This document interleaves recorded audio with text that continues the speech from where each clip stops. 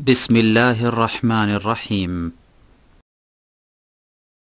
পরম করুণাময় ও অসীম দয়ালু আল্লাহর নামে শুরু إن همي فوق همي قد بنى سجنا لظلمي وغدا قلبي أسيرا بين آهاتي وحلمي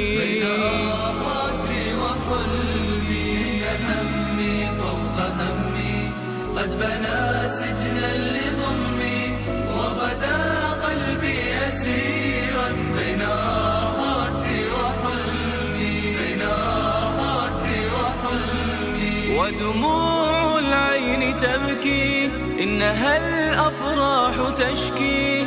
ودموع العين تبكي إنها الأفراح تشكي. أجرت عني بعيدا وأتى القهر ليحكي. هذه الدنيا غزتني دخلت قلبي عمتني.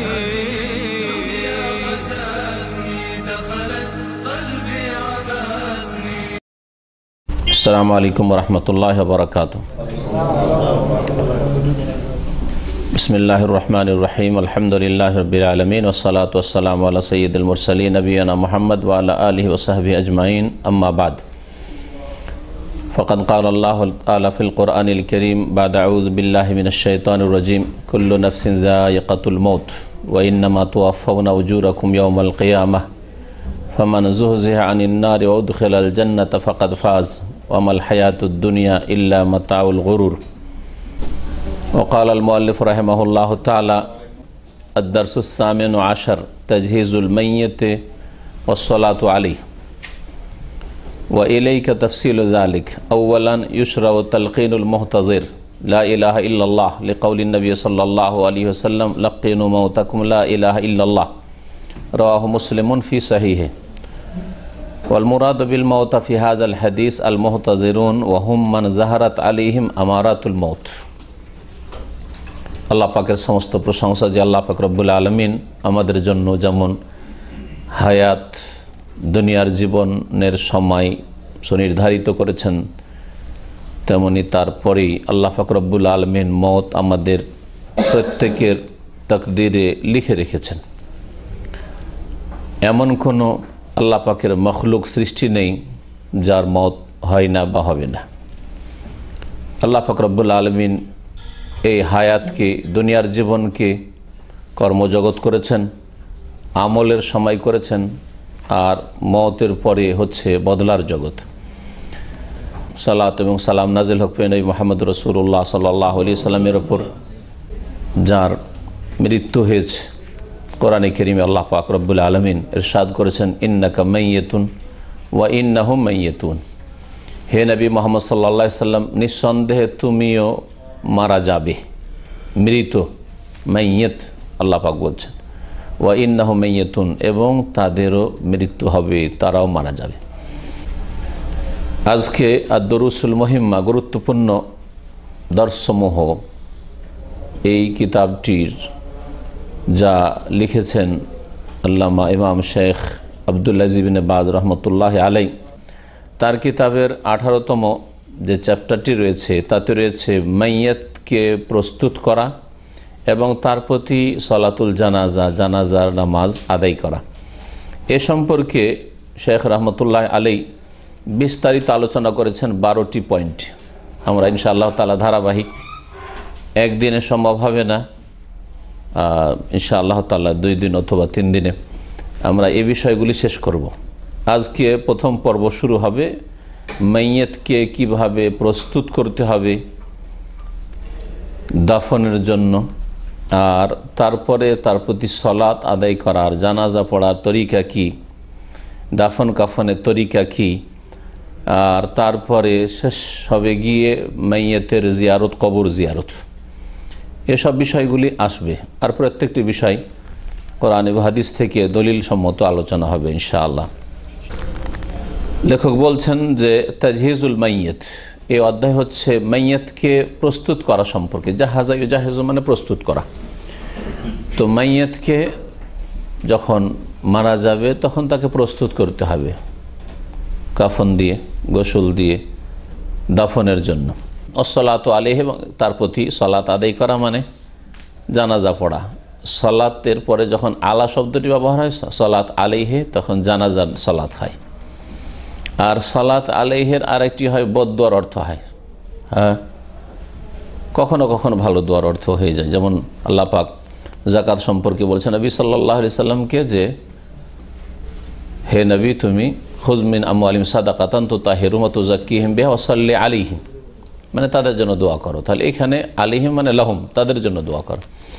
সলাতের পরে যে আলা হারফিজার এসছে, এখানে দোয়ার অর্থে রয়েছে, ভালো দোয়ার অর্থে রয়েছে। যারা জাকাত দিচ্ছে, সাদকা দিচ্ছে, তাদের জন্য তুমি দোয়া করো। নবী করিম সাল্লাহ সাল্লামকে আল্লাহ পাক বলছেন সৈরা তবাতে দোয়ার পরে যখন আলা আসে, তখন বদ দোয়ার অর্থে হয় সবসময় ওদু আলিহি মানে তার উপর বদ দোয়া করো।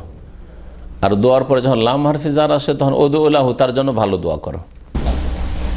তারপরে লেখক বলছেন ওয়াইলাইকা তাফসিল ও জালিক বিস্তারিত এই মাইয়াত সম্পর্কীয় বিধিবিধান পেশ করা হচ্ছে আপনাদের সামনে। আউ্বালান প্রথম বিষয়, প্রথমত মানে প্রথম বিষয়।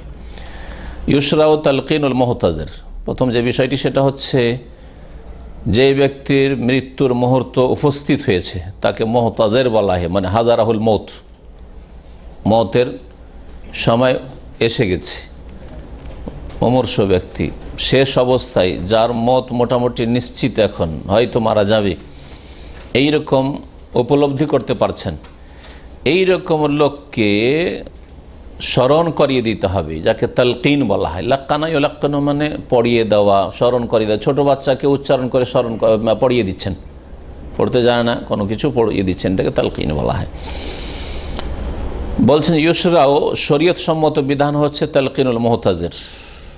মৃত্যু মুখে পতিত ব্যক্তিকে স্মরণ করিয়ে দেওয়া, লা এলাহ ইল্লাল্লাহ ইকালিমাতে বাটি। আল্লাহ ছাড়া কেউ সত্য মাবুদ নেই। অর্থাৎ এক আল্লাহর তৌহিদ একত্বর স্বীকৃতি দান করা আর এক আল্লাহ ছাড়া সমস্ত বাতিল মাবুদকে অস্বীকার করা। কমপক্ষে জীবনের শেষখানে অর্থ বুঝে সমস্ত বাতিল উপাস্যকে অস্বীকার করুক আর এক আল্লাহর তৌহিদের স্বীকারোক্তি প্রদান করুক। যার মাধ্যমে তার নাজাত হইতে পারে, যদি অন্তর থেকে বিশ্বাস করে বলে। আর মন্ত্রের মতো পাঠ করে, কিছু বুঝলো না অর্থ, আর এমনি এসে তাবারকের জন্য পড়ল, পড়িয়ে দিল, তাতে কোনো ফায়দা নেই। ওই সিরকি আকিদা থেকে গেল, কবর মাজার পূজার আকিদা থেকে গেল যে ওরাই দিতে পারে, আর শুধু পড়তে পারে লাই লাইহাল্লাহ পড়ল লাইহাল্লাহ পড়ল, এই লাইহাল্লাহ পড়াই কোনো ফায়দা নেই। যেই লাই লাইহাল্লাহ মানুষের হৃদয়কে পরিবর্তন করে, কথা পরিবর্তন করে, কাজ পরিবর্তন করে। আল্লাহ ছাড়া কেউ সত্য মাবুদ নেই, তার অন্তরও নেই, কথাতেও নেই, কাজেও নেই। তাহলে এই আল্লাহ ফায়দা হবে। কখনও কোরআন এবং হাদিসে এমন কিছু নেই যে শুধু শুধু এটা মন্ত্রের মতো পড়লে ওতে সোয়াব আছে বা ওতে মানুষের জীবন পাল্টিয়ে যাবে এরকম কিছু নেই আসলে। লা ইলাহ ইল্লাল্লাহ স্মরণ করিয়ে দিতে হবে। স্মরণ করিয়ে দেওয়ার দুটি তরিকা হইতে পারে। একটা হচ্ছে যে তাকে বলা যে, লা ইলাহিল্লাহ পড়ুন। ছেলেরা বলবে, মেয়েরা বলবে আব্বুল লা ইলাহিল্লাহ পড়ুন। স্ত্রী বলবে স্বামীকে লাইল্লাহ পড়ো। স্বামী বলবে স্ত্রীকে ইত্যাদি, যে যারা কাছে আছে ওই ব্যক্তির। স্মরণ করে মানে তাকে পড়তে নির্দেশ দেবে। ভালোভাবে। আর আর একদল অলমাই কেন বলছেন, না, নির্দেশ না দিয়ে বারবার তার সামনে লাইল্লাহ পড়তে থাকবে। এটা বেশি ভালো। কারণ অনেক সময় বিরক্তি বোধ করতে পারে। যখন মানুষ অসুস্থ থাকে, তখন মনটা খুব সংকীর্ণ হয়ে যায়। মেজাজটা খুব খিটখিটা হয়ে যায়। মেজাজ আর মন মেজাজ ঠিক থাকে না। কি বলতে কি বলে ফেলতে পারে। যার ফলে ওই সময় তাকে বলো বলছেন, যদি আমি বলব না, তাহলে কি হয়ে গেল? কুপুরি হয়ে যাবে না? আমি মানি না এইসব কথা। আল্লাহ না করে যদি বেরিয়ে যায়, তো গেল তার। এই জন্য অনেকে বলছেন যে এরকম না করে ওর পাশে আপনারা পড়তে থাকেন। লা ইলাহিল্লাহ লা ইলাহিল্লাহ বা সাদু আল্লাহ ইলাহিল্লাহ ওয়াসাউদ্দান্না মোহাম্মদান রসুল্লাহ বা মোহাম্মদান আব্দুয়া রসুল ইত্যাদি বলতে থাকেন। একাধিকবার বলতে থাকেন। এই ক্ষেত্রে উত্তম হচ্ছে যে একবার যখন দেখলেন যে বলে নিল, মাইয়েত, যে মানে মৃত্যু মুখে পতিত এখন, বলে নিল, তখন আর আপনাকে বারবার বলার প্রয়োজন নেই। কারণ বিরক্তিবোধ হইতে পারে। যে আমি অশান্তিতে আছি, কষ্ট পাচ্ছি, শারীরিকভাবে যন্ত্রণায় হয়তো আছে। আর বারবার করে এরা কী বলছে, বিরক্ত করছে আমাকে। তো এই জন্য একবার যদি বলে নেই, তো আপনার নীরব হয়ে যান। আর যদি এরকম হয়ে যায় যে একবার বলে নিল, তারপরে বেশ কিছুক্ষণ আরও সময় পেয়েছেন, অনেকক্ষণ হয়ে গেছে। মাঝখানে অন্য দুনিয়ার কোনো কথা হয়েছে আরও কিছু সাংসারিক কথা পরিবারের সাথে হয়েছে, তাহলে আবার শেষখানে আবার স্মরণ করেন লাই রাহিল্লাহ যাতে করে শেষ কথাটি তার এই দুনিয়া থেকে বিদায়ের পূর্ব মুহূর্তে দুনিয়ার কোনো কথা না হয়। লাই রাহিল্লাহ হয়। কারণ নবী করিম সাল্লাম হাদিস ওই রকম রয়েছে মানকান আখের কালামি যার শেষ কথা হবে নবী করিম সাল্লাহ সাল্লাম বলেছেন, লাক্কেনু মাউতাকুমলা ইরাহিল্লা তোমাদের মৃতদের কি, অর্থাৎ মৃত্যু মুখে পতিত, এখন মার, মরতে যাচ্ছে, এখন মারা যাবে মনে হচ্ছে। এই রকম ব্যক্তিকে মমতা বলা হয়েছে। আগামী সময়টিকে লক্ষ্য রেখে হ্যাঁ যেমন একজন এখন আলেম হয়নি, কিন্তু আলেম বলছেন। মানে আলেম হইতে যাচ্ছে। নবী করিম কি বলছেন? তোমাদের ওই সব লোকদেরকে যারা, যাদের মৃত্যুর সময় এসে গেছে, তাদেরকে স্মরণ করিয়ে দাওলা এলাহিল্লাহ রহ মুসলিম, হাদিসটি সহি মুসলিমে রয়েছে। মমতা মানে কি? মৃতকে তো, মরে যাওয়া ব্যক্তিকে তো আর স্মরণ করিয়ে লাভ নেই। তার সামনে পাঠ করে তো লাভ নেই। জন্য বলছেন শেখ রহমতুল্লাহ আলী, ওয়াল মুরাদ বিল মৌতা এখানে মৌতা তোমাদের মৃতদেরকে মানে ফিহাজ আল হাদিস, এই হাদিসে অর্থ হচ্ছে আল মোহতাদেরুন মানে যাদের মতের সময় উপস্থিত হয়েছে, হাজির হয়েছে, মতের সময় এসে গেছে। ওরা আবার কারা? মহতাজের আরবি ভাষা মহতাজের বলতে ওর অর্থ হয় যে মান হাজার রাহুল মত ওহম মান জাহারাত আলিহিম আমারাতুল মত যার ওপর মৃত্যুর লক্ষণ প্রকাশ পেয়েছে। ওর অবস্থা দেখে বোঝা যাচ্ছে যে আর বাঁচবে না। এই ব্যক্তিকে স্মরণ করা লাইলাহিল্লাহ কারণ শেষ বাক্য যদি লাইলাহিল্লাহ হয়, অন্তরের বিশ্বাসের সাথে জবান দিয়ে লাইলাহিল্লাহ বের হয়, তারপরে কোনো আমল করতে পারুক আর না পারুক, সে জান্নাতে যাবে, এই মর্মে হাদিস রয়েছে। কিন্তু অন্তরের বিশ্বাসের সাথে। যাতে করে তার জীবনটা যেন পরিবর্তন হয়ে গেছে। এই জন্য প্রিয়নবী মোহাম্মদ রসুল্লাহ সাল্লাহ আলী সাল্লামের ইবনে হেব্বানে একটি হাদিস রয়েছে লাক্কেনুমা ওতাকুম লাহিল্লাহ তারপরে মানকানা আখের কালাম ইহিলা ইলাহা ইল্লাল এন্দাল মত কারও যদি শেষ কথাটি লাইলাহিল্লাহ হয় মতের সময় দেখাল আল জান্নাতা ইয়মামিনাদ দাহার, তাহলে যে কোনো সময় হোক, যে কোনো যুগে হোক, যে কোনো কালে হোক, জান্নাতে যাবে। তার মানে সে যদি চুরিও করে থাকে, ডাকাতি করে থাকে কোনো করে থাকে, ব্যবিচারও করে থাকে, তো এগুলোর মানে এই না যে লাইলাহিল্লাহ সবগুলি মাপ পেয়ে গেছে। জাহান্নামে শাস্তি পাবে, কিন্তু ইয়মামিনাদ দাহার, কোনো এক সময় জাহান্নামে জ্বলে জ্বলেও কি হবে? জান্নাতে যাবে। তাহলে এই হাদিসের অর্থ এই নয় যে মান কালাল্লাহ আহিল্লাহ দাখাল জান্না মান কান আখের কালামে, যার শেষ কথা হবে আহিল্লাহ দাখালা জান্নারে প্রথম চোটে জান্নাতে চলে যাবে, এটা অর্থ নয় এর জান্নাতে যাবে একদিন। কিন্তু তার শাস্তি পেয়ে, তার শাস্তি পেয়ে। তবে খালে অন্তর থেকে যদি তবা হয়ে গিয়ে থাকে, আর সেই তবা আল্লাহ কবুল করে থাকে। লাহিল্লাহ পাঠ করল, আর তার সাথে শেষ সময় তবা করল যে, আল্লাহ যদি আমি বেঁচে থাকি, জীবনে আর এরকম গোনা করব না। আর তবার যেগুলি শর্ত আছে, সবগুলি পুরা করল। তাহলে আল্লাহ গফর রহিম মাফ করতে পারেন মাফ হইতে পারে। কবিরা গোনা মাফ হইতে পারে। কিন্তু শুধু লাহিল্লাহ দিয়ে অন্য অন্য কবিরা গোনা মাফ হয়ে যাবে না। শাস্তি পাবে। আর তারপরে জান্নাতে আসবে। এ হচ্ছে এর অর্থ। আর হাদিস ইবিন হেব্বান এটা প্রমাণ করে ইয়মা মিনার ধার কোনো কালে যে কোনো কালে হোক, এক সময় জান্নাতে যাবে যদি লাইহাল্লাহ পাঠ করে মারা যায়। ওয়াইন আসাবাহু কাবলা দালিকা মা আসাবাহু, যদিও এই জান্নাতে যাওয়ার পূর্বে তার ওপর কোনো রকমের আজাব শাস্তি আসুক মানে জাহান্নামে শাস্তি হোক, কবরের শাস্তি হোক, হাসরের মাঠের শাস্তি হোক, এসব শাস্তি হয়েও কি হবে? জান্নাতে যাবে। আবু দাউদে রয়েছে মুস্তাদরাক হাকিমে রয়েছে মদ রাজি আল্লাহ তালানো থেকে বর্ণিত। তিনি বলছেন রসুল্লাহ সাল্লাহ সাল্লাম বলেছেন মানকান আখর কালাম হিলা ইলাহ যার শেষ বাক্য হবে ইল্লাল্লাহ। মিনার দুনিয়া, দুনিয়ার শেষ বাক্য। লা ইলাহ ইল্লাল্লাহ, আল্লাহ ছাড়া কামার সত্য মাবুদ নেই। দাখালাল জান্না সে জান্নাতে যাবে। কিন্তু এ কথা বলা হয়, দাখালাল জান্নাতা আউ্বালান দখুলান আউ্বালিয়ান প্রথমখানে বলা হয়েছে কি? জান্নাতে যাবে।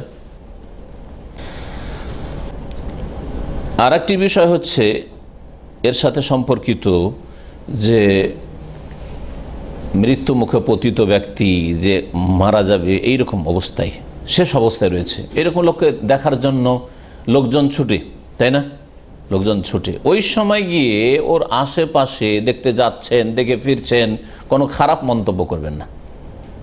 ভালো গুণগুলি থাকলে বলবেন, আর মন্দ যদি থাকে তো চুপ থাকবেন, বলবেন না। মন্দ কিছু যদি বলেন, তাহলে তার জন্য আরও বিপদ হইতে পারে। তাই ভাষ্যকার বলছেন অমান হাজার আল মোহতাজের, কেউ যদি এইরকম মুমূর্ষ ব্যক্তির কাছে উপস্থিত হয়, ফালা একর ইল্লা খাইরান, ভালো কথা ছাড়া অন্য কোনো কথা যেন না বলে।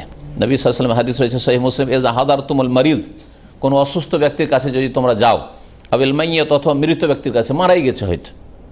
মৃত্যুর পূর্বখানে অথবা মৃত্যুর পরে পৌঁছেছেন দেখতে। ফাকুল খায়রান, তোমার ভালো কথা বলিও। আল্লাহ যেন তার গোনা খাতা মাফ করে, আল্লাহ যেন জান্নাতবাসী করে। লোক ভালো ছিল, মিথ্যা বলার কোনো প্রয়োজন নেই, তার কিছু ভালো দিক আছে, সে ভালো দিক বলবেন আর না হলে চুপ থাকবেন। ফাইনাল মালায়কা মেনুন আলামা তাকুলুন, কারণ ফেরেশতারা তোমাদের কথাগুলির ওপর আমিন আমিন বলে। তোমার যদি লোকটা খুব খারাপ ছিল।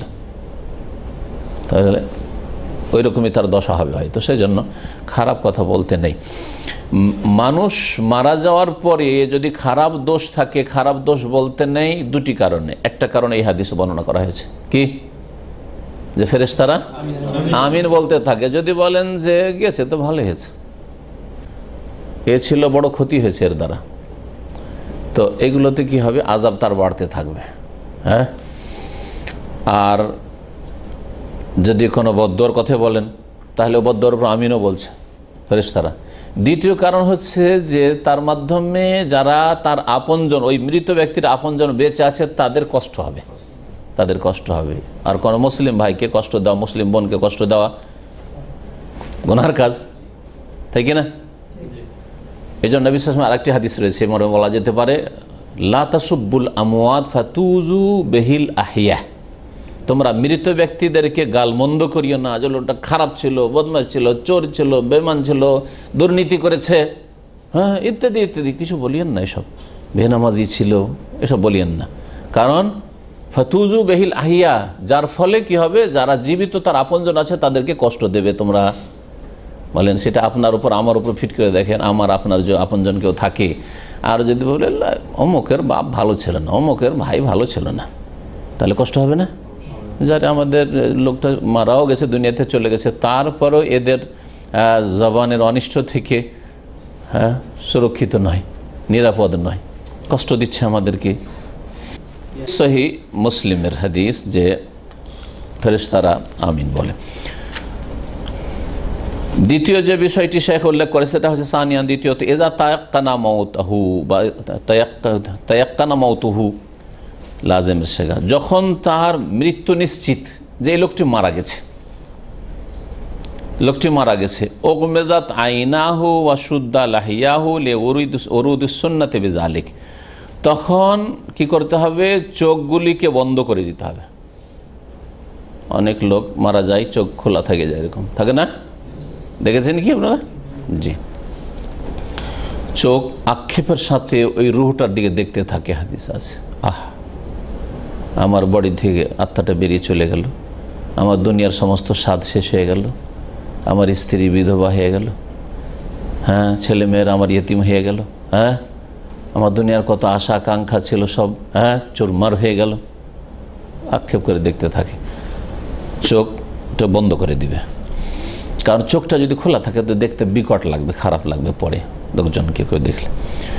তাহলে দুই চোখ বন্ধ করে দিতে হবে। অশুদ্ধা লাহিয়াহু এবং তার যে এই লাহিয়া বলা হয় যেখানে দাঁড়িয়ে আছে হ্যাঁ? তাই না? এই যে দাড়ির জায়গা। তো এটাকে বেঁধে দিতে হবে যাতে করে হা হয়ে না থেকে যায়। বেঁধে না রাখলে এটাকে যদি বেঁধে না রাখেন এর সাথে হ্যাঁ, এইভাবে তাহলে কি হবে? হা হয়ে থেকে যেতে পারে। আর কয়েক ঘণ্টা থেকে যাওয়ার পরে মুখ বন্ধ করতে চাইলে আর বন্ধ করতে পারবেন না। কয়েক ঘণ্টা মৃত অবস্থায় যদি হা করে থেকে যায়, তারপরে যতই চেষ্টা করেন, আর বন্ধ করতে পারবেন না। আর ওই সময় যদি কারও নজর পড়ে, তো দেখতেও খারাপ লাগবে।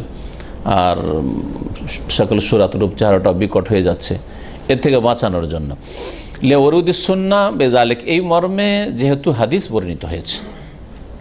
এখন দেখেন ওই হাদিস কি আছে? হাদিস সহি মুসলিমে আছে, মোসনাদ আহমদে আছে। দুই চোখ বন্ধ করে দিতে হবে আর মাইয়েতের জন্য দোয়া করতে হবে। এই বিষয়গুলি উম্মা সালমা রাজি আল্লাহ তালা আনহার বর্ণিত হাদিসে রয়েছে, তার স্বামীর যখন ইন্তেকাল হয় আবু সালমা। খুব প্রখ্যাত সাহাবি ছিলেন আর উম্মা সালমা রাজি আল্লাহ নবী সাল্লাহ আলী আসাল্লামের বিবি একজন হ্যাঁ? আবু সালমার ইন্তেকালের পরে নবী সাল্লাহ সাল্লামের সাথে বিবাহ হয়। তাহলে তিনি বলছেন, দাখালা রসুল্লাহ আল্লাহ আবি সালমাতা। রসুল্লাহ সাল্লাহ আলী আবু সালমার কাছে প্রবেশ করলেন। কোন সময়? যখন তার ইন্তেকাল হয়। ওয়াকাত সাক্কা ওয়াসারুহু আগমাদাহু সেই সময় তার চোখগুলি ফাড়া অবস্থায় ছিল। চোখ খোলা অবস্থায়। চোখ বড় বড় হয়ে আছে। ফাগমাদাহ নবী সাল্লাহ চোখগুলিকে কী করে দিলেন? টিপে দিয়ে বন্ধ করে দিলেন। ইন্তেকালের সাথে সাথে করলে বন্ধ হবে। আপনি দু চার ঘণ্টা এমনি রেখে দেন, তারপর বন্ধ করলে বন্ধ হয়তো হবে না। সেই জন্য বন্ধ করে দিতে হয় প্রথমখানে। সুম্মা কাল, তারপরে নবিসাল বলেন, ইন্না রুহা এদা কবেজা তাবিয়াহুল বাসারু। যখন রুহটা কবজ করে নেওয়া হয়, আত্মা যখন আল্লাহ পাকের ফেরেস্তা মালাকুল মত গ্রহণ করে নেই হরণ করে নিয়ে নেই তাবি আহুল বাসার, তখন দৃষ্টি তার পিছনে ছুটে, যে হাই রে, আমার আত্মা চলে গেল, আত্মা চলে গেল। সুফহান আল্লাহ হয়তো বেঁচে থাকা গেলেন, আমি আপনি, কোনো মানুষ আত্মা দেখতে পারবেন না হ্যাঁ? কিন্তু যখন মত হয়ে যাচ্ছে তখন হতে পারে সে আখেরাতের জগতে চলে গেছে, বুঝতে পারছে যে চলে গেল আত্মা এখান থেকে হ্যাঁ? ফাদাজ্জা নাসুমিন আহলিহি, এই কথা শোনার পরে, নবী সাল্লামের এই কথা শোনার পরে যে রুহ যখন মালাকুল মত কবজ করে নেই তখন দৃষ্টি, চোখ, তার পেছনে ছুটি যাহাই আমার আত্মা বেরিয়ে চলে গেল, এই শুনে তার পরিবারের আত্মীয় স্বজন লোকেরা ছিল, স্ত্রী আরও সব ছেলেমেয়েরা আছে বা ভাই, বোনেরা আছে, বেরাদর, তারা খুব কান্নাকাটি শুরু করেছে, চিৎকার করে কান্না শুরু করেছে। ফাঁকা আলা তখন নবী সাল্লাম বললেন লাদু আলা আনফুসুকুম ইল্লা বেখাইর। তোমরা তোমাদের ওপর ভালো দোয়া ছাড়া বদোয়া করিও না। তোমাদের ওপর মানে তোমাদের মৃতের ওপর। এই সময় যদি চেঁচামেচি করে কান্না করো, এতে মাইয়েতের কষ্ট হবে আজাব হবে তার ওপর। তোমরা ভালো কথা বলো। দোয়া করো আল্লাহ তার গোনা মাফ করে দাও। আল্লাহ মাকফিল্লাহু আল্লাহ মারহামহু আল্লাহ আইজমিন আজাবিল কবর কবর আজাব দূর করে দাও, রহম করো, মাফ করো, জান্নাত দাও হ্যাঁ? কিন্তু হইচই করে কাঁদতে থাকবেন অথবা বয়ান করে তার গুণাবলী বর্ণনা করতে থাকবেন, এগুলো খারাপ জিনিস। কেন নিষেধ করলেন? এইসব চিৎকার করতে আর কান্না করতে বয়ান করে ফাইনাল মালাইকা তুই আমেনুন আলামা তা কলুন কারণ তোমরা যা কিছু বলো তার ওপর ফেরেস তারা আমিন আমিন বলতে থাকি, সুম্মা কালা, তারপর নবী সাল্লা সাল্লাম দোয়া করলেন মাইয়েতের জন্য। তাহলে বোঝা গেল যে দাফনের আগেই লোক মারা গেছে এখনও গোসল দেওয়া হয়নি, লাশ রাখা আছে, দোয়া করতে পারেন তার জন্য। আল্লাহ মাগফিরলে আবি সালামাতা, আল্লাহ আবু সালামাকে তুমি মাফ করে দাও। ওয়ারফা দারাজা তফিল মাহেদি ইন এবং তার মর্যাদা উঁচু করো হেদায়ত প্রাপ্তদের মধ্যে সামিল করে। এক হেদায়ত প্রাপ্ত দলে মাহেদি ইন মাহেদি ইন আম্বিয়া, সিদ্দিকিন, সোহাদা, সলহীন। নেক লোকেরা। তাদের মধ্যে সামিল করে কি করো? তার মর্যাদাকে উঁচা করো। তাদের মধ্যে মর্যাদা উঁচু করো। ওয়া ওয়াখলফুফি আকেবেহি ফিল গাবেরিন। আর তার পরিত্যক্ত যারা রয়েছে, বা তার আকেব মানে পরিত্যক্ত হয়, আকেব মানে হয় ওয়ারেসিন। এখানে ওয়ারেসিন বলেন কেন? পরিত্যক্ত অনেক সময় সম্পদের ক্ষেত্রে আমরা ব্যবহার করে থাকি। তো, যদিও শাব্দিক অর্থ যা ছেড়ে যাচ্ছে, তাই না? যাকে ছেড়ে যাচ্ছে। আকেবাহ তার পেছনে যাদেরকে ছেড়ে যাচ্ছে, অর্থাৎ তার উত্তরাধিকারী।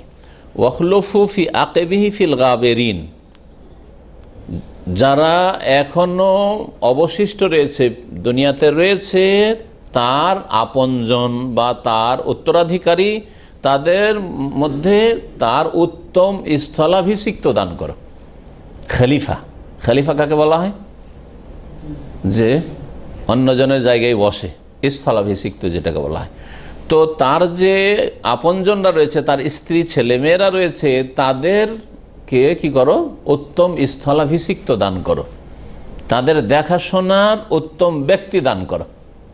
কত সুন্দর দোয়া। একজন লোক মারা যাচ্ছে, আর তার জন্য যদি এই দোয়া হয়, তার মানে তার স্ত্রী, ছেলেমেয়ে আছে, আল্লাহ তাদের দেখাশোনার যেমন তার বাবা করতো হ্যাঁ? ছেলে মেয়েদের বাবা করতো, বা ওই মহিলার স্বামী করতো, তার চাইতে ভালো লোকের ব্যবস্থা করে দাও। তার চাইতে ভালো লোকের ব্যবস্থা করে বিকল্প দান করো। এই দোয়া কত সুন্দর হয়ে কবল হয়েছে রসুল্লাহ সাল্লামের চিন্তা করেন। ওম্মে সালমার স্বামী ছিলেন আবু সালামা, সাহাবি। আর ইদ্যত চার মাস দশ দিন পার হওয়ার পরে স্বামী হলেন সৈয়দুল মুরসালিন, খাতামুন নবীন মোহাম্মদ রসুল্লাহ সাল্লাম সাল্লাম বিয়ে করতে চাইছিলেন না যে আমার অনেকগুলি ছেলে মেয়ে, এদেরকে ছেড়ে আমি বিয়ে করব না। নবী সাল্লাম বললেন যে, ছেলে মেয়ের তুমি কোনো চিন্তা করিও না। তোমার ছেলে মেয়েদের দেখাশোনার জন্যই আমি বিয়ে করছি। তোমার ছেলে মেয়ের ভরণ পোষণ দেখাশোনা তরিবতের দায়িত্ব আমার। নবী করিম সাল্লাহ সাল্লামের সম্পর্কে এমনি বোন ছিলেন। ওয়ারফা দারা জাত ফিল মাহদিন ওয়াকলুফি আকবি ফিল গাবেরিন ওয়াকফিল্লানা ওয়ালাহু ইয়া রব্বাল আলম আল্লাহ, আমাদেরকে ক্ষমা করে দাও। ওয়ালাহু আর তাকেও মাফ করে দাও। কাকে? আবু সালামাকে। ইয়া রব্বাল আলমিন, হে বিশ্বজাহানের মালিক, ওয়াফসা আল্লাহফি কবরহি আর তার কবরকে প্রশস্ত করে দাও। ওয়ান্নাউল্লাহু ফিহে এবং তার জন্য তার কবরকে আলোকিত করে দাও। এখনও কবর দাফন করা হয়নি হ্যাঁ? তাহলে এই দোয়া করা সুন্নাত। এই দোয়া মুখস্থ করেন। আখরাজাহ মুসলিম আহমদ সহি মুসলিম এবং মুসনাদ আহমদের হাদিস।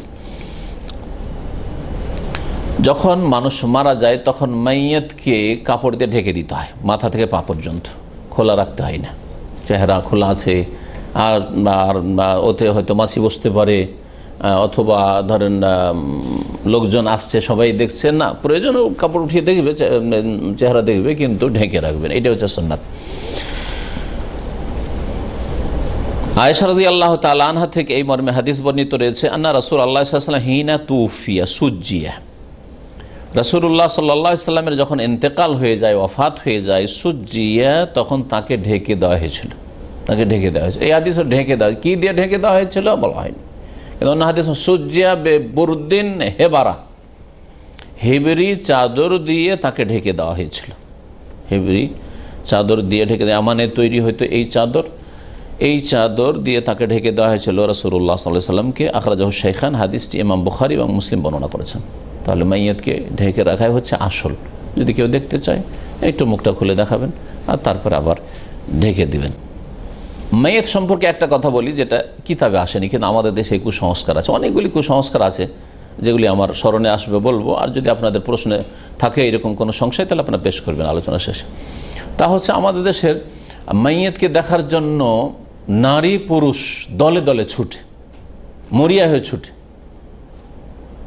জীবিত অবস্থায়, অসুস্থ থাকলে তেমন দেখতে যায় না, কিন্তু কেউ মারা গেছে, তারপরে দেখেন দলে দলে, না নেই?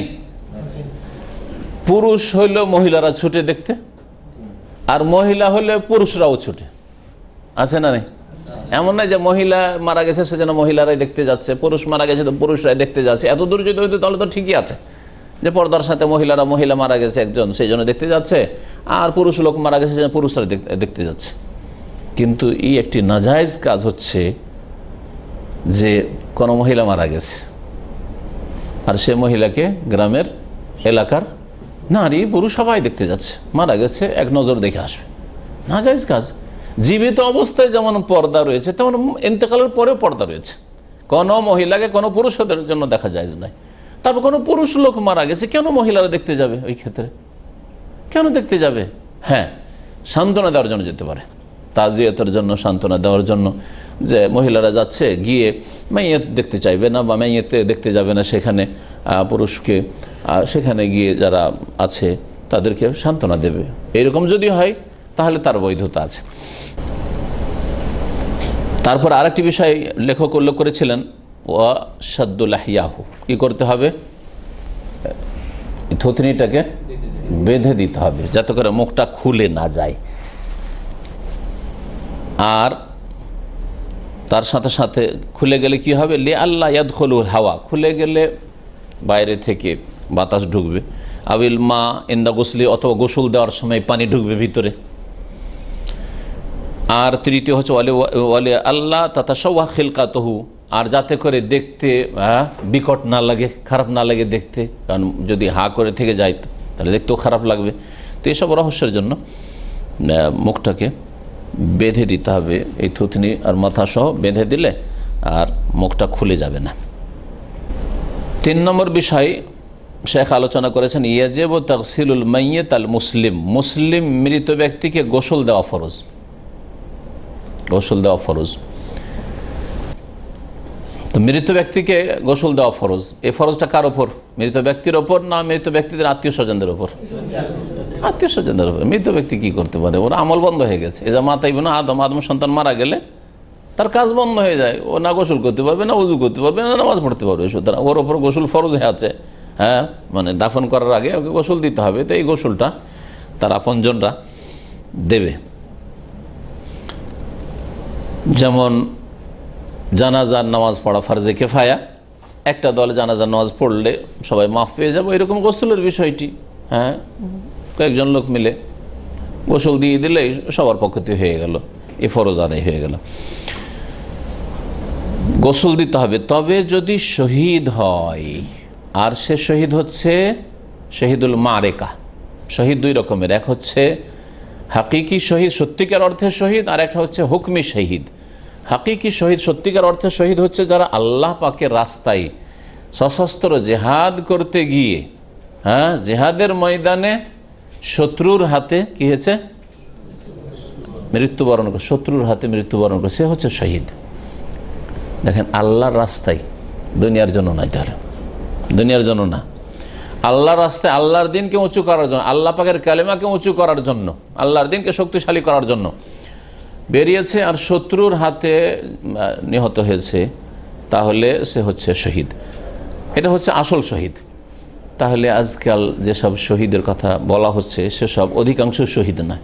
মুসলিম মুসলিমকে মেরে শহীদ আমা মুসলিমের কাছে মার খেয়ে খুন হয়ে শহীদ, তারপরে অমুসলিমও শহীদ, বেনামাজি বেদিনও শহীদ, শির্ক বিদাতকারী, শির্ক বড় বড় শির করে তাও শহীদ আল্লাহ পরকালে বিশ্বাসী নয়, সেও শহীদ। এসব শহীদ নয় আসলে, জান না? এদেরকে একটা বিকল্প শব্দ খুঁজতে হইত। কিন্তু আলহামদুলিল্লাহ খুঁজে পাইনি, ও ইসলামের শব্দটি ধার নিয়েছে। বুঝছেন না? তাদের নিজের শব্দ তাদেরকে আবিষ্কার করা উচিত ছিল। যখন তারা খেয়াল খুশি, তারা শহীদ বলবে, তাদের একটা শব্দ নিজেরাই খোঁজ খোঁজা উচিত ছিল। কিন্তু তারা খুঁজে পায়নি, ইসলামের কাছে ধার নিয়েছে। ওরা শহীদ নয়। এ হচ্ছে সত্যিকার অর্থে শহীদ, হাকিকি শহীদ, আসল শহীদ। আর হুকমি শহীদ মানে বিধানগত শহীদ। আসলে, আসল অর্থে শহীদ নয়, কিন্তু তার হুকুমটা হচ্ছে যে শাহাদাতের মর্যাদা পেয়েছে। বিভিন্ন মারাত্মক রোগ, অথবা এই রকম ধরনের বেশ কিছু দুর্ঘটনা রয়েছে, যেগুলি নবী সাল্লাহ আলি সাল্লাম উল্লেখ করেছেন। তো এই রকম কিছুতে যদি ইন্তেকাল করে, নবী সাল বলছেন যে আশোহাদাও সব আতুন হ্যাঁ? শহীদ হচ্ছে সাত প্রকারের।